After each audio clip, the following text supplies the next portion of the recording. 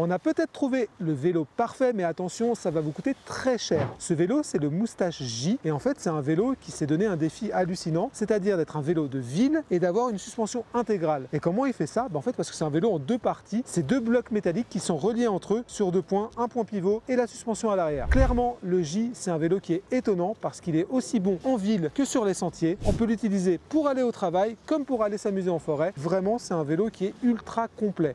Niveau assistance et batterie, c'est du Bosch, donc du très bon, avec un moteur de 75 Nm et une batterie qui peut aller jusqu'à 625 watts. Donc globalement, on est tranquille pour un moment. Le prix, c'est là où ça pique. Ça commence à 5699 euros. C'est normal, c'est un vélo haut de gamme, mais clairement, il en vaut la peine.